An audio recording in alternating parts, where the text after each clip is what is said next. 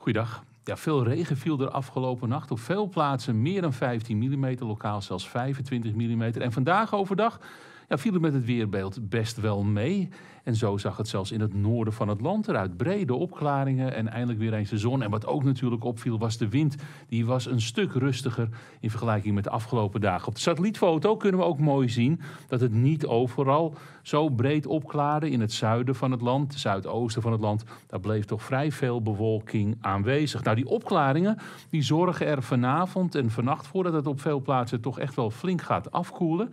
En ik denk zelfs dat het in het oosten en zuidoosten of noordoosten moet ik zeggen, en in het midden van het land misschien wel tot 1 of 2 graden vorst komt. Daar kom ik ja, eigenlijk nu op. Want als we de weerkaart erbij gaan pakken, dan staat ons nog wel wat te wachten namelijk. Want het is dan nu mooi droog weer. Morgen dan wordt het toch wel weer kletsnat.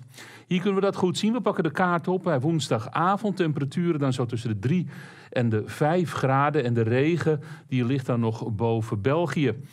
Dan gaat het geleidelijk aan afkoelen. Zoals ik al aangaf, gaan we zelfs vorst krijgen. Temperaturen kunnen in de oostelijke helft van het land dalen tot onder het vriespunt. En ook elders, ja, temperaturen rond het vriespunt is toch wel goed mogelijk. Er staat nauwelijks wind. En dat betekent ook dat er misschien lokaal wel wat mist kan ontstaan. We houden daar vooral rekening mee in deze regio's. Er moet er wel een beetje wind staan, want als het windstil is, dan lukt dat ook niet met die mist. Goed, morgenochtend dus eerst nog vrij koud. Maar wat gaat er dan gebeuren? Dan komt de neerslag vanuit het zuiden weer opzetten. En als ik de kaart stilzet, dan zien we daar ook de roze kleuren. En die geven wel ons sneeuw aan natte sneeuw in dit geval. Het komt vanuit het zuidwesten opzetten bij temperaturen iets boven het vriespunt over het algemeen in de middag. 1 of 2 graden. In het zuiden wordt het al snel wat warmer. Ja, dan gaat dus regen vallen en dat gaat in de noordelijke helft over in natte sneeuw. En ik sluit zelfs niet uit dat in het noorden van het land het een beetje wit kan gaan worden, omdat daar die temperaturen wat langer laag blijven. Hier zien we dat gebeuren. De donkere roos, dat komt erin. Maar het trekt dan uiteindelijk weg. En wat we dan weer mooi kunnen zien gebeuren... is dat vrijdag in de loop van de nacht eigenlijk... de zachte lucht alweer terrein gaat winnen. En dit is een kaartje van vrijdag 3 uur. Nou, dan zien we het temperatuurverschil van 1 graad in het noorden... en 9 graden in het zuiden van het land. En dat betekent ook dat sneeuw die blijft liggen... die is ook weer zo verdwenen. Want die temperatuur die gaat alleen maar verder stijgen. Gaat ook gepaard met een hoop regen. En dan vrijdag in de loop van de ochtend vanuit het zuiden wordt het geleidelijk aan wat droger.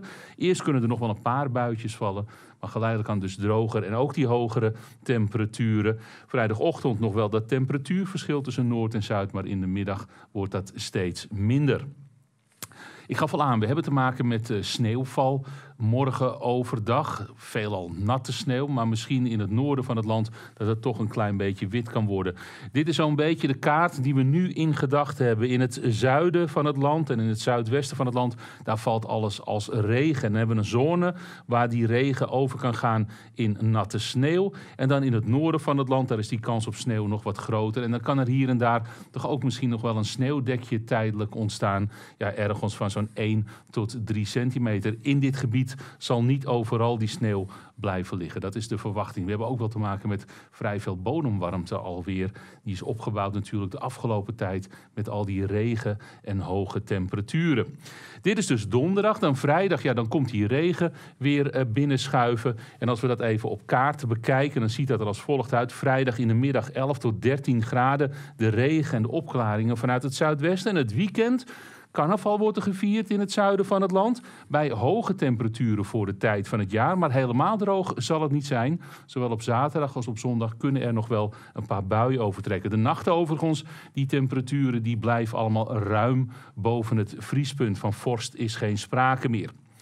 Dan gaan we natuurlijk ook wat verder kijken, want het is woensdag. We pakken ook even de lange termijn erbij. Dan ga ik eerst weer terug naar de weerkaart. Die pakken we op op vrijdag. Dit is dat gebied met die sneeuw onder andere wegtrekt. En dan zien we een lage drukgebied boven het Verenigd Koninkrijk.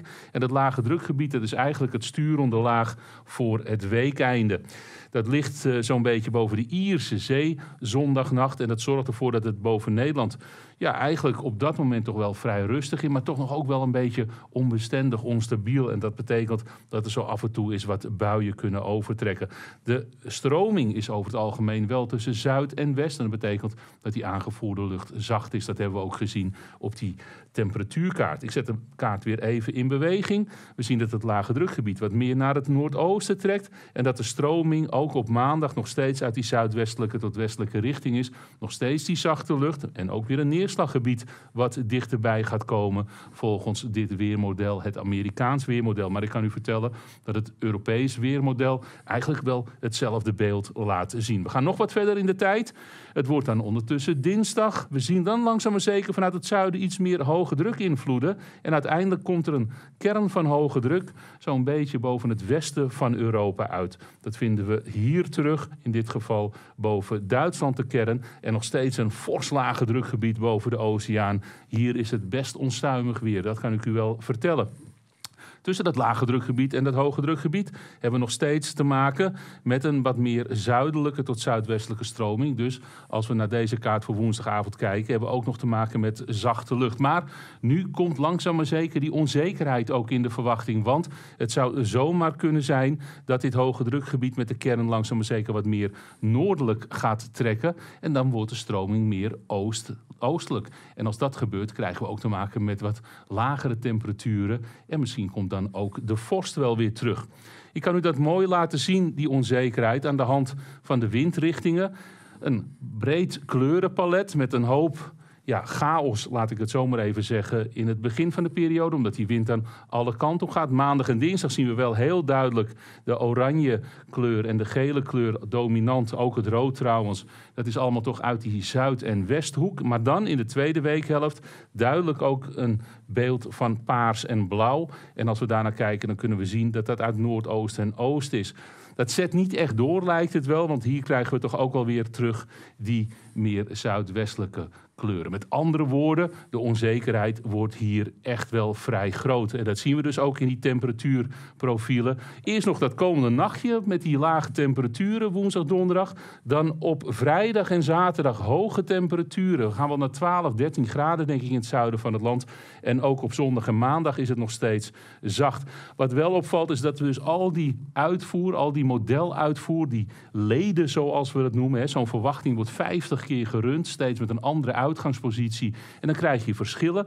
Maar die uh, uitgangsposities in het begin, die zorgen er toch wel voor dat alles vrij zeker is wat de temperatuur betreft. Maar op het moment dat we zo'n beetje halverwege volgende week gaan komen, ja, dan gaat het alle kanten op. Dan heb ik hier uitkomsten die richting de 13 graden gaan. Maar er zijn ook maximumtemperaturen die zelfs onder het vriespunt uit gaan komen. Daar kunnen we dus geen chocola van maken. Dat is gewoon afwachten hoe die druksystemen zich gaan manifesteren.